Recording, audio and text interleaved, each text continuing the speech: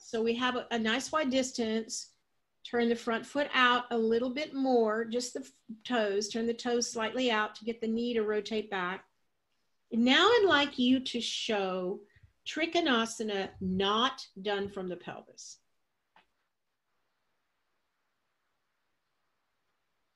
All right. Gross. There's no pelvic movement. All right. So this is, of course, come up. Thank you.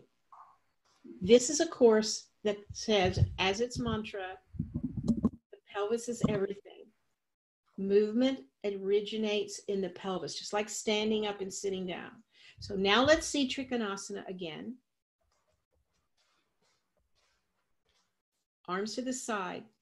And I want you to exaggerate the movement of the pelvis first. Please. Just that. No, don't go down. Just the pelvis. Let's no, come back up. Just the pelvis. Don't try to go down at all. Just tilt the pelvis. Exactly. That's the movement. Now you can all see, I think, that her top hip comes slightly forward of her back by the, where her hands are. That is healthy. That is what we want. We want the top pelvis to slightly come forward. Come back up again. Now, in your mind, all of you, just put that bones of the pelvis. Imagine you could see the bones of her pelvis. Remember the pubic symphysis in the front.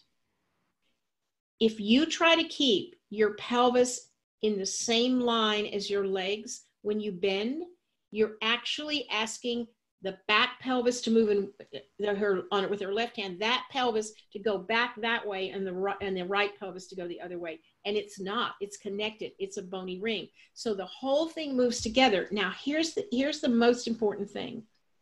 If you let go, it will happen. So take your arms out again, please, Lizzie. Now, Inhale the breath. I just want you to stop with the tilting of the pelvis. Exhale, tilt the pelvis. You see? That's what where the pose is created. You can already see the energetic line from her shoulder joint through the pelvis, through the knee, through the back leg. Now reach out, elongating the underside body, exhaling, take the pose. Yes. Yes. The pelvis initiates the movement